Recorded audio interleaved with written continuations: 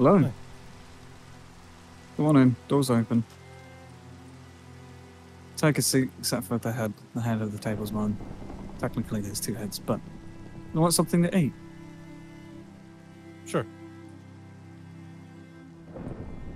So I'm gonna guess you know uh, what I brought you here.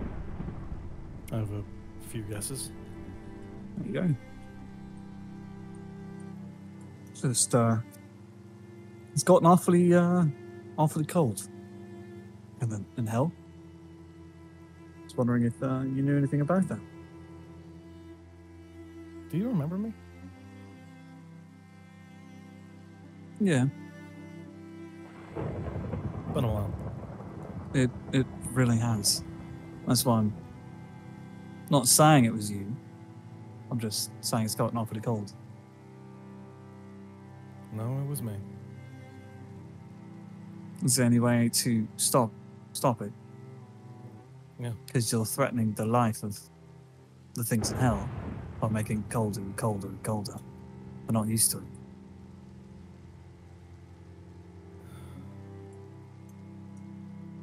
Yeah, there is a way to stop it. But I can't. You made a machine that you can't stop. I I can stop it. I'm not going to. And why is that?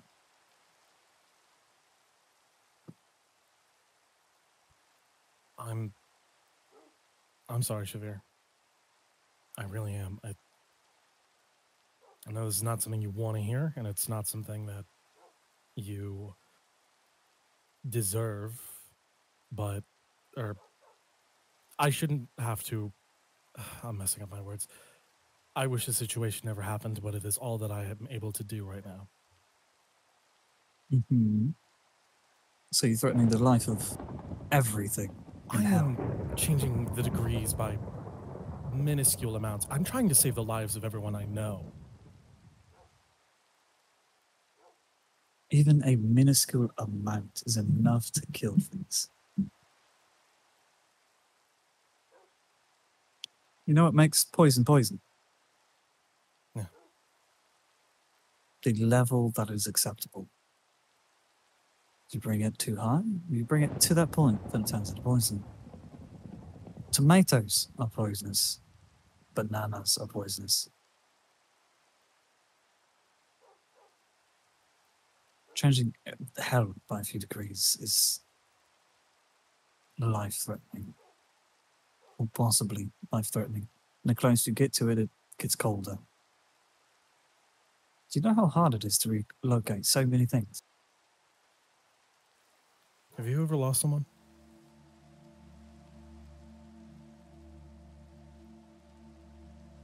Quite a few people. I had a grandson. A grandson. He was he was this short little thing. Tiny, wonderful eyes, looked at the world with wonder. And he's dead. Trashy pushed him onto the withering and killed him.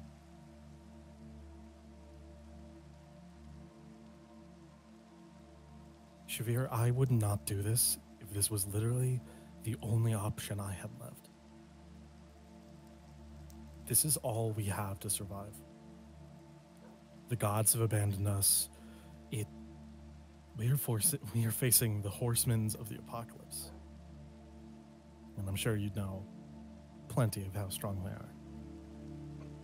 I know a little bit of it. Don't be modest. Conquest.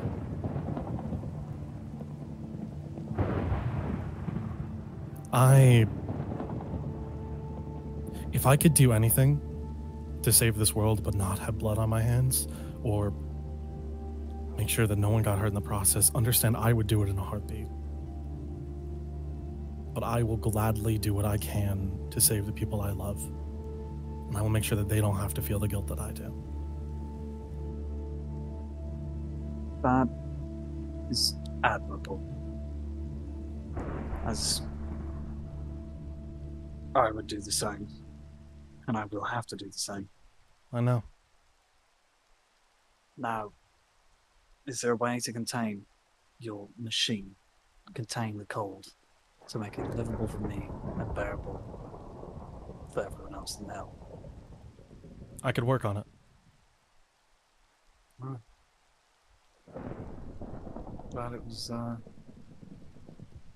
somewhat of a peaceful talk. Except for the people upstairs. They're a bit too loud, weren't they? No, no, it's just. I've gotten a lot better at seeing things recently. Hmm. So then you saw why I called you here. I forgive you. Well, I would quite like this uh, abode to stay. It's somewhat of a neutral ground, to, you could say. Well, I won't break a single block. I can promise you that.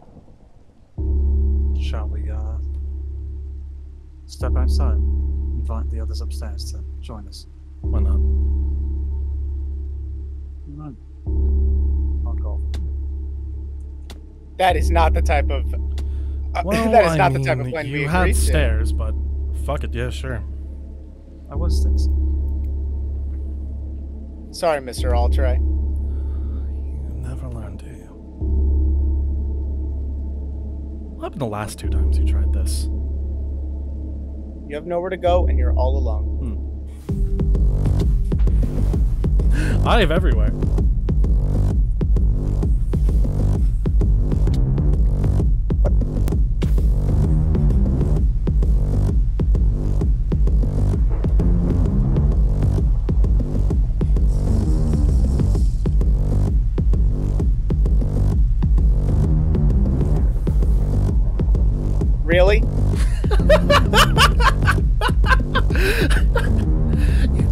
See an ambush? Are you stupid?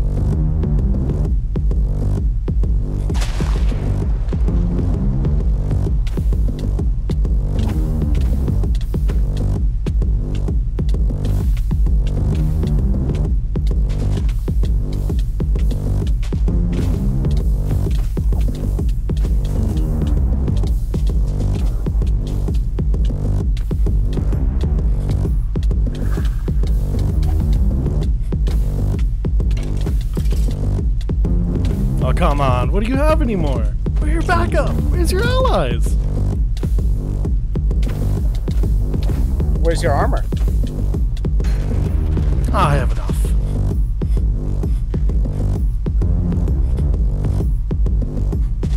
Yeah.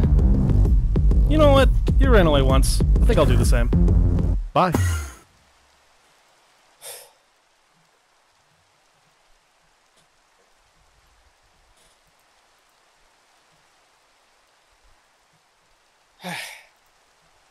Well, it's a good thing I had a backup plan. Yeah.